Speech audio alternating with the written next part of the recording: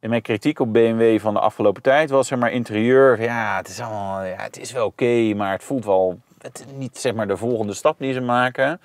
Nou, dat hebben ze in de BMW iX absoluut wel gedaan. Zo, ja jongens, dit is wellicht even wennen. Hè? De BMW iX, de iX. Dat staat er op het kentekenplaatje voorop. Dit is wel weer zeg maar, volgende stadium qua BMW-design. Dus ik kan me heel goed voorstellen dat je denkt, ja, dit, dit vind ik hem niet. Ik sta erbij, ik moet ook wennen, dat moet ik eerlijk bekennen.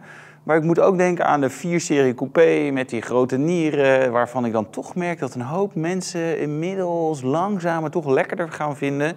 Uh, misschien jij niet, maar uh, dat maakt niet zoveel uit.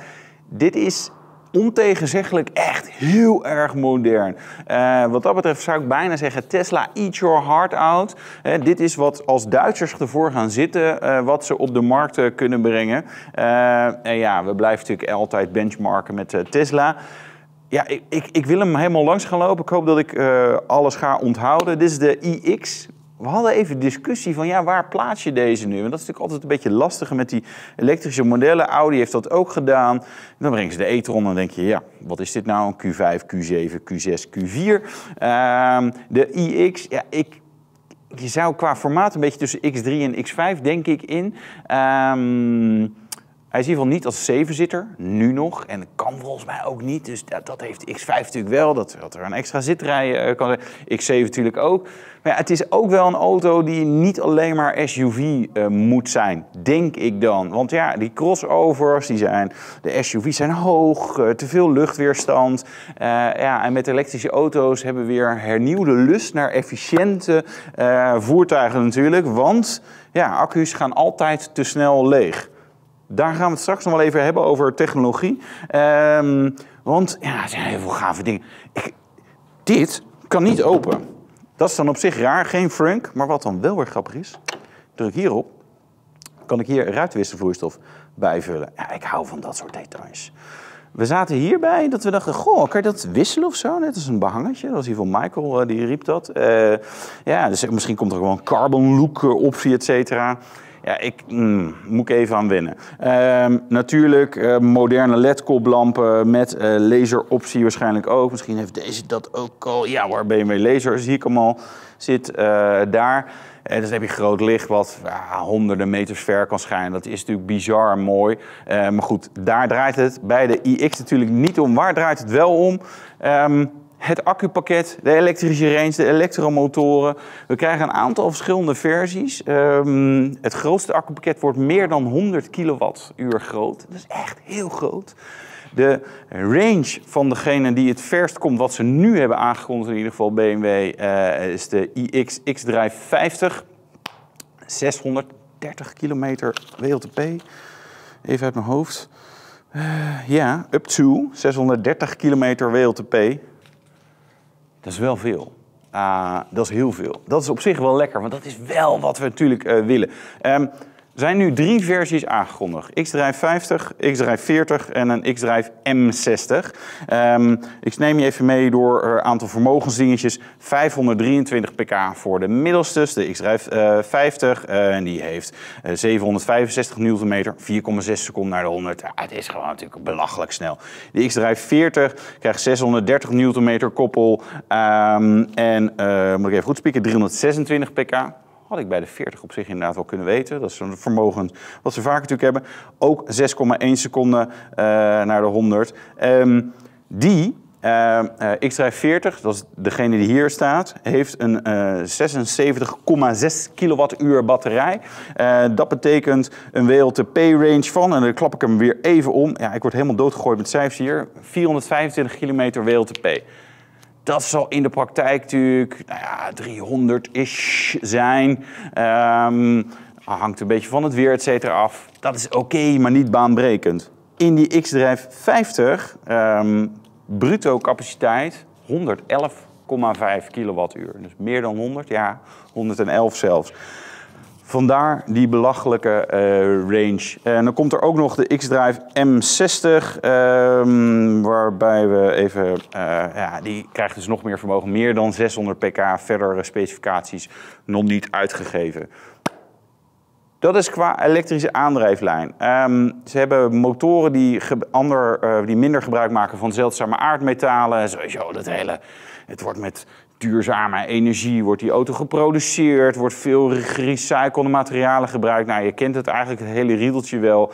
Uh, bijvoorbeeld de nylongaren zijn vanuit visnetten en dat soort dingen. Uh, dus alles wat er aan nylon wordt gebruikt is hartstikke uh, duurzaam. Ik vraag me wel af hoeveel visnet moeten we nog uit de oceaan halen als al deze auto's daarmee moeten produceren. Maar goed, dat maakt niet uit. Wat heel gaaf is, en dan trek ik toch even de deur open. Ik ga het nog niet over het interieur hebben, maar wel over wat je hier ziet. Um, dat is zwart. Nou, hebben ze natuurlijk bespaard op het gewicht van de lak. Nou, dat is niet helemaal waar. Het is namelijk carbon. Dus we weten al van uh, BMW 7 en 8 serie, die hebben natuurlijk de Carbon Core, gebruiken ze al carbon, uh, hè, want die technologie hadden ze bij het feitelijk van de BMW i3 ook elektrisch. En ja, dat zetten ze nu door om toch aan die gewichtsbesparing te werken. Er ook veel gebruikt van aluminium. Ik heb niet de gewichten nu paraat van de auto's. Maar ja, groot accupakket uh, en uiteindelijk grote auto. Het zullen geen mega lichte zijn. Maar je ziet wel dat ze echt moderne technologie gebruiken. Wat natuurlijk wel erg gaaf is. Frameloos porteren overigens, hè, is een beetje die coupé look. Ja, en wat erg gaaf is, Kijk even naar dit, ja, wat normaal natuurlijk chroom was. Hè, en, dit is dan uh, in de Shadowline BMW's, dan weten we wel dat dat zwart was. Dit is ja, een beetje, een beetje plaatje naar goudachtig. Uh, niet, niet heel fel goudkleurtje, maar het, zit er wel in. Of hier ook zo'n ledlampje wat hier uh, aan de binnenkant loopt. Ja, ik, ik vind het wel gaaf. Het voelt gewoon heel erg modern.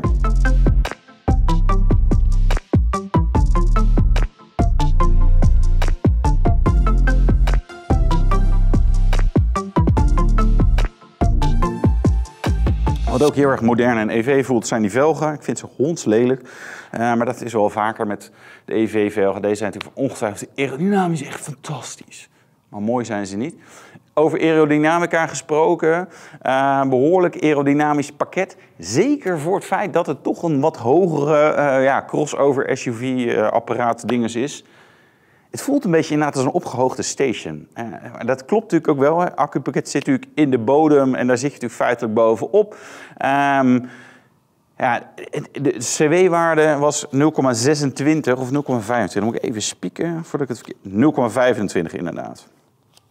Dat is gewoon wel echt goed voor het type auto. Het is sowieso goed, voor het type auto helemaal. Um, die carbon cage en het gebruik van aluminium zorgt inderdaad voor de gewichtssparing. Hebben we het over gehad. Lopen we even door naar de achterkant. Um, ja, ook gewoon een, modern, hele smalle lichtunit, wat we natuurlijk met uh, LED uh, steeds vaker kunnen doen. En wat we grappig hebben, ze hebben het over, joh, we gebruiken de logo's om zeg maar, de auto wat cleaner te maken.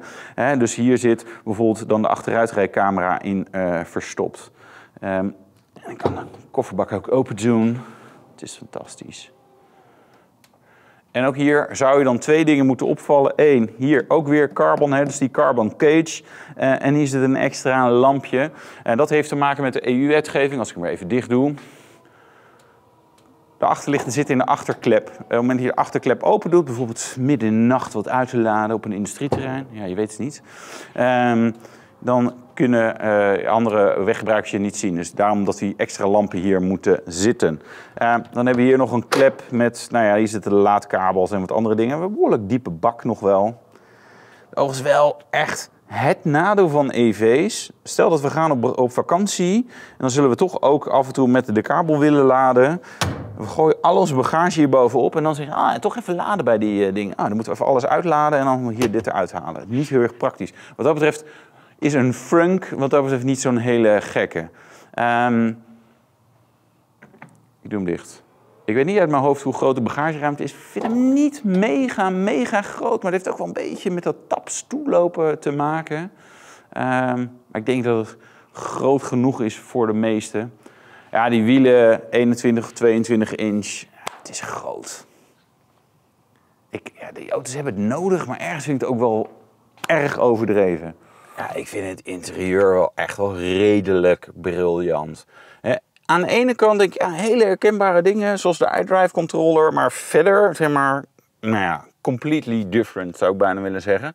Ik kan me ook voorstellen dat sommige dingen dat je zegt, "Nou, dat vind ik echt niet zo heel erg mooi. Ik vind de stoelen zelf een beetje wennen. Het is een beetje van die fauteuils waar je op zit, zeg maar echt zo'n dikke wangen. Dat voelt wat minder, zeg maar, de traditionele BMW sportstoel. Ehm, maar goed, ik, ik, nou ja, dat het ergste is, maar gewoon qua materialen, kleurgebruik, heb je die iDrive controller, die zit in een, ja, een soort houten plankje waar dan wel weer knoppen in zitten. En dan zit die iDrive controller, is, is, hè, de draaiknop is eh, eh, in goud. Ik wil even iets wegklikken hier. Uh, via een glas uitgevoerd. Sorry, ik doe twee dingen tegelijk, dat kan ik helemaal niet. Ik ben een man hier, maar ook de volumeknop. En je hebt wel gewoon ja, fysieke knoppen. Het zijn touchknoppen, dus je moet ze wel weten waar ze zitten. Maar ja, weet je, ik word er wel blij van. We hebben natuurlijk een aantal ele- elektrische auto's en andere moderne auto's gehad waarbij ah, ja, die fysieke knoppen allemaal zijn verdwenen. Eh, en ergens loop ik dan altijd te klootviolen. Oh, ja, ik wil nu een andere radiozender. Ik moet terug naar mijn menu en ik moet daarop klikken, daarop klikken. Weet je, dan gewoon één knop, dat je gewoon naar media of de telefoon of naar Navi. Of, eh, nou ja, je, ik, het, is gewoon handiger. Ehm, dan, wat zie ik voor me? Ja, het is een beetje Mercedes. Mercedes, zeg maar, met die plank voor mij. Met twee schermen die in één eh, stuk doorlopen. Die loopt natuurlijk niet één door stuk door, want hier is een stukje wat gewoon zwart is, wat geen scherm is. Ik zal even spieken hoe groot ze exact zijn, want dat ik ook weer ergens zien staan. Ja, wacht even. Dus jullie weten precies. 12,3 inch en 14,9 inch. Het grappige is, het voelt niet mega, mega groot. Als je natuurlijk een Tesla Model S of een Model X stapt, dan heb je echt maar zo'n unit van een scherm. Eh, dat is dit niet. Het is wel gebogen. Het voelt zeg maar, ja, airy, room, weet je, ruimtelijk. Dat, dat is wat eh, eh, eh, het gevoel wat je erbij krijgt. Dit is weer nieuwste BMW OS voor de Navi, et cetera. Nou ja, weet je, we gaan nu niet rijden, dus dan wordt het altijd een beetje lastig om hier echt iets van te vinden. In een stilstaande auto vind ik de meeste Navi's best goed werken. Totdat je zeg maar in de stad rijdt en denkt, oeh, ik moet toch even iemand bellen, want ik kan het niet vinden. Nou, dan loop je helemaal vast. Dus dat is toch, dat gaan dan gaan we merken hoe goed dat werkt. Ehm, afgeplakt stuurtje met weer nieuwe controllers eh, hierop. Eh, grappig, nu eindelijk weer, eh, volgens mij BMW dat nooit gehad, Mercedes al wel heel lang, stoelbediening in de stuur. En ook hier weer mooi glasafwerking. Ja, dit is veel prettiger, want dan zie je gewoon, je snapt meteen wat je moet doen. En anders zit je zo te frummelen naast die stoel en dan snap je niks van hoe dat werkt. Dit is wel fraai. Ehm, speciaal Bowers Wilkins geluidssysteem. Ah, weet je, ja, boeien zou ik bijna zeggen. Maar 30 eh, speakers, waaronder van die shakers in je stoel, zodat je dat helemaal lekker voelt trillen, et cetera.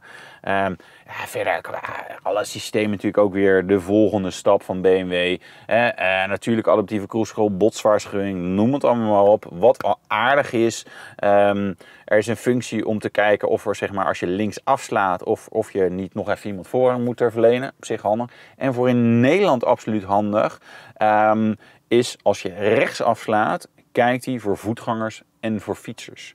En dan ben ik echt oprecht benieuwd hoe dat gaat met elektrische fietsers die natuurlijk wat harder gaan. Weet je wel? Welke snelheid houdt hij in? Snapt hij ook fietspaden, et cetera? Maar dat is natuurlijk wel een, ja, je weet allemaal wel eens in de stad. Je denkt, ja, komt er nou iets?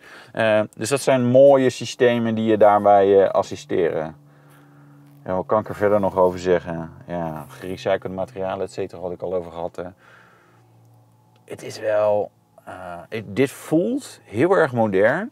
En wat heel erg knap is gedaan van BMW, is dat je toch nog steeds die controller hebt van ik denk, ja, dit gaan mensen wel weer snappen. En natuurlijk is dit ook touchscreen, dat werkt natuurlijk ook gewoon. Maar je kan hem ook gewoon lekker ouderwets met die controller bedienen. En mijn kritiek op BMW van de afgelopen tijd was zeg maar interieur. Ja, het is allemaal, ja, het is wel oké, maar het voelt wel niet zeg maar de volgende stap die ze maken. Nou, dat hebben ze in de BMW iX absoluut wel gedaan. Ja, en qua elektrische auto, eh, batterijcapaciteit en daarmee de range ook absoluut. Snellaadfuncties moeten we het ook nog even over hebben. Eh, dan hangt het af van of je de X-Drive 40 of de X-Drive 50 hebt. Ehm, de X-Drive 40 kan tot 150 kilowatt snel laden. X-Drive 50 tot 200 kilowatt snel laden. Die 150 vind ik dan weer niet mega inspirerend. Het is denk ik wel snel genoeg. Maar ja, weet je, we zijn ook eh, ehm, nog hogere snelheden gewend van de, de merken die 800 volt accupakketten hebben. Hè. Dus dat is Porsche met Taycan, Audi e-tron GT, maar vreemd genoeg, vreemd genoeg uh, Kia en Hyundai ook met hun nieuwe elektrische platform. Ja, die gaan naar 250, 270 uh, kilowatt. Dat is 150 niet heel erg veel. Maar die 200, ja, weet je, of nou 200 of 250 is, dan denk ik altijd van, ja, maakt wel uit, maar uh, misschien niet genoeg om ja, echt druk over te maken. Even achterin zitten ook. Ik zit nu achter mezelf. De auto is aan het piepen met wat meldingen, maar dat heb je natuurlijk met preproductie en een, uh, een, een, een contact wel aanstaan. Ja, dit zit eigenlijk prima ruim genoeg. Wel redelijk hoog met mijn voeten. Daar zit dat accupakket onder. Het aparte is wel weer ook de deur. Uh, we hebben hier een knopje om hem open te maken. En dan een soort noodknop hieronder, waarmee je dan ook open kan doen. Um, en dat zie ik ook buiten de hendels. We hebben niet echt meer traditionele deurhendels. Maar iets ver, verborgen. Vind ik overigens wel beter gedaan dit dan van die moeilijke dingen die eruit uh, klappen. Dit is wel gewoon weer grijpen. En toch aerodynamisch heel erg goed. Dus, de BMW iX. Ik denk dat jullie moeten wennen aan het uiterlijk. Dan moet ik ook. Ik vind het interieur echt redelijk briljant. En dat komt met name door die combinatie van ja, de dingen die ik ken van BMW. Uh, met toch ja, gewoon lekkere vernieuwing erop. Dus dat hebben ze heel goed gedaan. Wat wel jammer is, ja, die knoppen 1 tot en met 10 die je in BMW's altijd had. Hè. Dus dan kon je uh, radiozenders onder doen, maar ook uh, bel met schatje. Dus gewoon het telefoonnummer van je meisje of je jongetje of je hond of je kat, weet ik veel. Uh, of het navigeren naar huis, weet je. Dan kon je dan onder één knop, bam, één knop coördineren. Die is verdwenen, dus dat is wel jammer. Dat had ik wel gaaf gevonden dat die er nog in zat. Maar verder, gevoelsmatig, echt gewoon lekker gedaan. Goed gedaan. Groot accupakket, goede range, goede prestaties, mooie auto. Ja, hebben ze goed gedaan. Ik ben ook wel oprecht benieuwd naar een iets lagere versie hiervan. Bijvoorbeeld de BMW i4. Ik weet niet hoeveel elementen van de iX we in de i4 gaan terugvinden. Maar dit belooft wel wat goeds. Dank voor het kijken. Blijf dat doen. Dus uh, abonneer je even op YouTube. Zet de notificaties aan. Geef even een commentaar wat je ervan vindt. En dat soort dingen. Nou ja, noem het allemaal op. Bedankt in ieder geval. Doeg!